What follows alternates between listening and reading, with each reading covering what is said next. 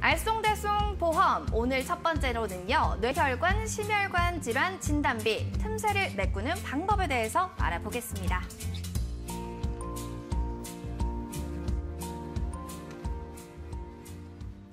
와, 오늘 주제를 보니까 혈관 질환의 진단비, 그러니까 틈새, 뭐 허점이라고 봐야 될까요? 이게 있다라는 소리로 좀 들리는데 혈관 질환의 중요성을 선생님이 좀 알려주시려는 것 같습니다. 구체적으로 혈관 질환과 외상에 의한 혈관 질환 좀 다르다고 들었거든요. 어떤 차이점이 있는지 설명 부탁드릴게요. 네, 혈관 질환에는 어, 질병과 상해 두 가지로 분류할 수 있는데요. 지금 가지고 계신 대부분의 혈관 진단금은 모두 질병으로 인한 혈관 질환에만 지급이 되는 보험이라고 생각하시면 됩니다. 즉, 상해로 인한 혈관 질환에는 보장을 받을 수 없는데요.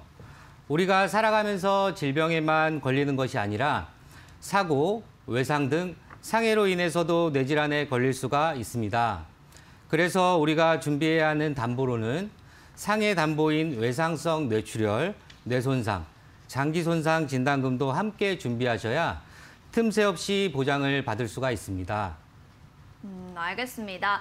혈관 질환에서도 이게 질병이었냐, 외상이었냐가 이 구분이 돼서 보험금을 좀 어떻게 받는지도 달라지는 것 같네요. 그럼 심장 질환에도 이와 유사한 틈새가 좀 있는지 궁금하거든요.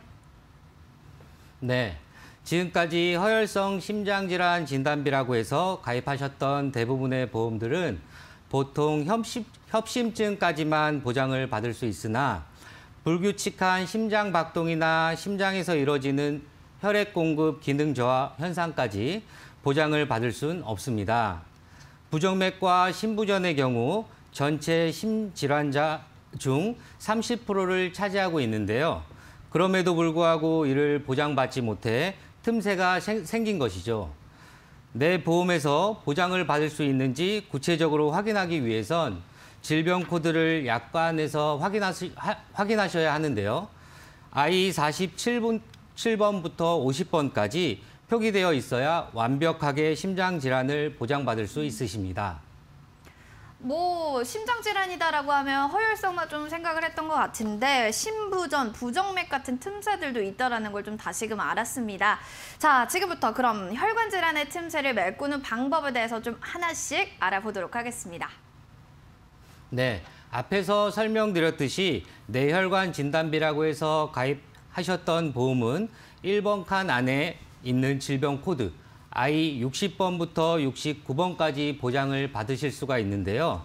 반면 보장에서 제외되는 양성 종양은 두 번째 칸 안에 속한 질병 코드 D32번부터 35번까지 보장이 되며 외상성 뇌질환은 3번 칸 안에 있는 S062번부터 9번까지 보장을 받으실 수가 있습니다. 양성 종양과 외상성 뇌 질환을 보장받으시려면 리모델링을 통해 추가적으로 가입하셔야만 틈새 없이 보장이 된다는 점 유의하시길 바랍니다.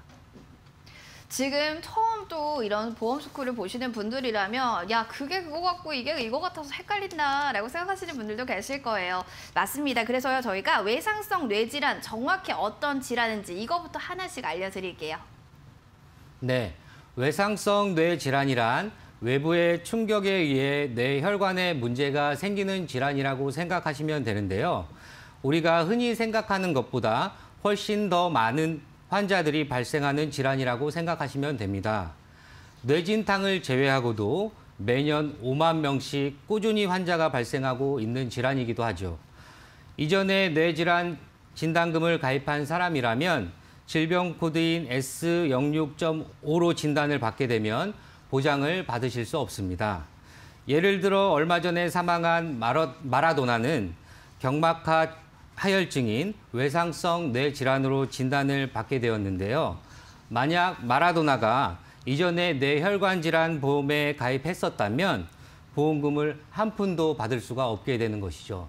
음, 알겠습니다. 또 실제 또얘 같은 사례들까지도 얘기를 해주셨습니다. 자, 그럼요. 저희가 보험을 가입할 때 이런 틈새를 메꾸고 가입을 하려면 어떤 식으로 가입을 해야 됩니까, 선생님? 네. A화재 건강보험을 예시로 설명드리면 뇌혈관 진단비 500만 원, 외상성 뇌출혈 진단비 3천만 원, 외상성 뇌 손상 진단비 200만 원, 외상성 장기 손상 진단비 200만 200만 원 등을 가입했을 때한한 달에 내야 되는 보험료로는 30대 기준 13,000원에서 23,000원 사이, 40대 기준 26,000원에서 58,000원 사이, 50대 기준 5만 1,000원에서 6만 4천원 사이, 60대 기준 8만 6천 원에서 11만 원 사이로 가입이 가능하십니다. 음, 알겠습니다. 네, 혈관 질환 틈새를 메꾸는 방법에 대해서 또 자세히 알아봤고요. 아, 이제부터는 허혈성 심장 질환의 틈새를 메꿔줄 방법도 알아보도록 하겠습니다. 네.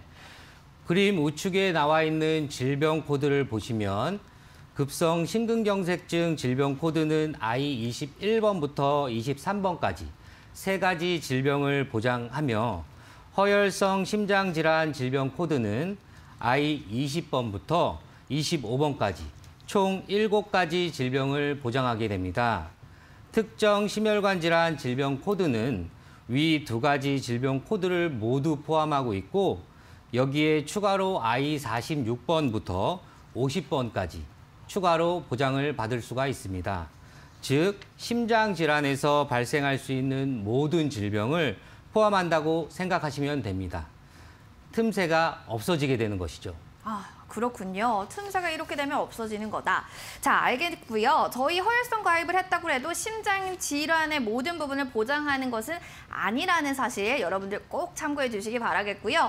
허혈성 이제 가입됐다면 혈관 질환의 발병률 그리고 치료 비용이 어떻게 되는지 이 점까지 설명 부탁드릴게요. 네.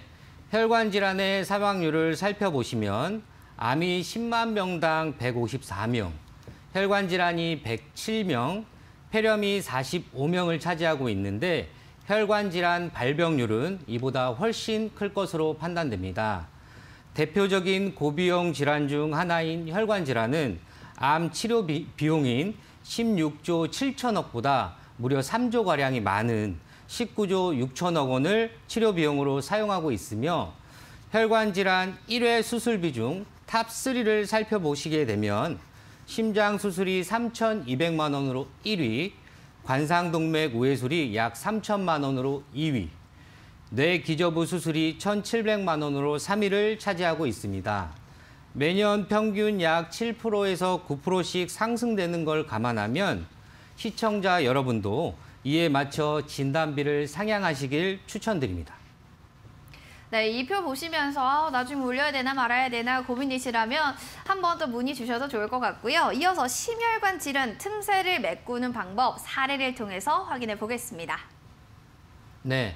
비화재보험 심장질환 중점 보험 가입 예시를 설명드리면 심혈관 질환 진단비 1천만 원, 수술비 1천만 원, 심방세동 조동 및 심부전 진단금 1천만 원, 심폐소생술 성공 진단금 1천만 원 가입 시 한 달 내야 되는 보험료로는 30대 기준 13,000원에서 27,000원 사이, 40대 기준 16,000원에서 32,000원 사이, 50대 기준 18,000원에서 39,000원 사이, 60대 기준 21,000원에서 49,000원 사이로 가입이 가능하시고 비화재보험 2대 혈관질환 중점 보험가입 예시를 살펴보면 뇌혈관, 심혈관 진단금 각각 1천만 원, 수술비 1천만 원 가입 시 한 달 내야 되는 보험료로는 30대 기준 7,400원에서 13,000원 사이, 40대 기준 13,000원에서 21,000원 사이,